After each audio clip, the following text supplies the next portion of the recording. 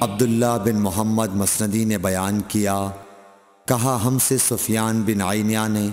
حشام بن عروا سے، وہ اپنے باپ سے،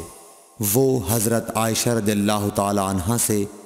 کہ فاطمہ بنت ابی حبیش کو استحاضہ کا خون آیا کرتا تھا۔